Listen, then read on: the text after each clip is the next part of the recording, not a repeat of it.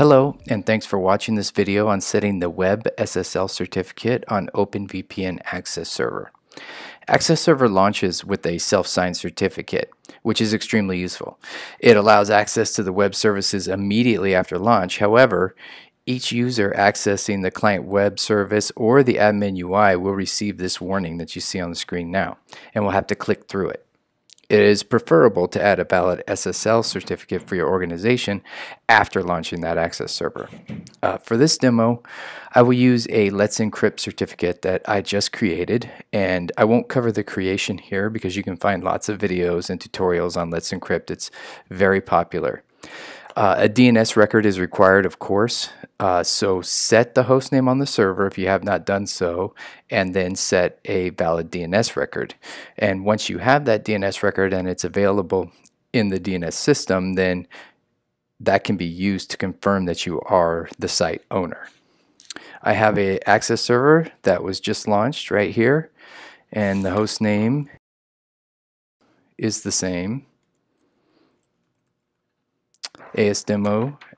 asdemo.openvpn.com, and that is the website we're going to.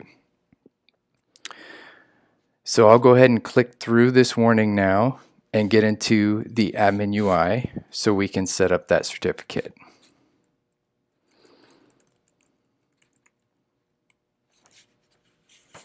In order to do this, you'll need three files.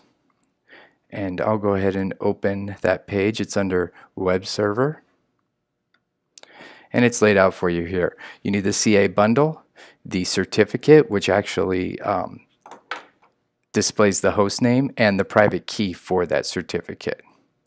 And I have those files in a folder right here.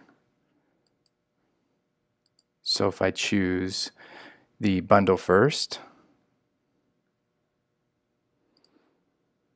ch choose the full chain,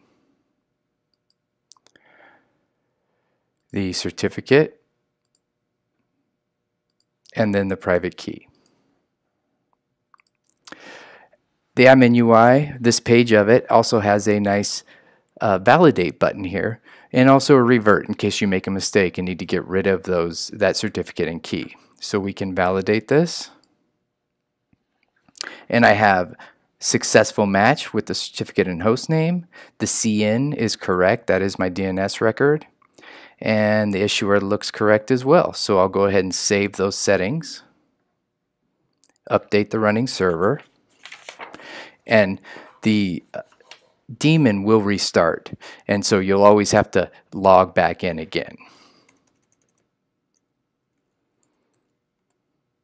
And as you can see, that warning is gone. There are no certificate issues. And this website now looks legit. It's that simple. Thanks for watching.